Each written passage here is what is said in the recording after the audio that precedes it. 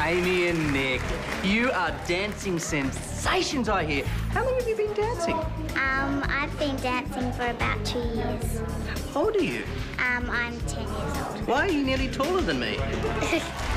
So at just 10 and 9, Amy and Nick are our youngest and cutest ballroom dancers ever. So won't Red be thrilled?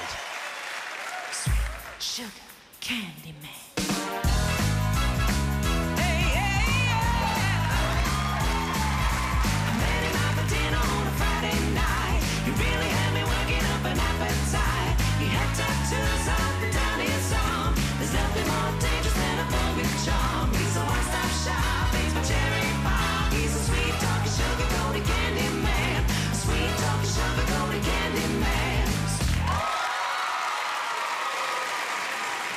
I'll be honest, when it comes to the jive, you can dance better than I can.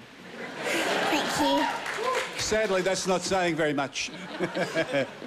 OK, this is the moment of truth. Tom? I'd like to see the two of you again, definitely. Oh, yeah, we can, we can finish them off at the next stage, I think. Thank you. It's a yes from me. You're through to the next stage. Thank you. And now from ballroom.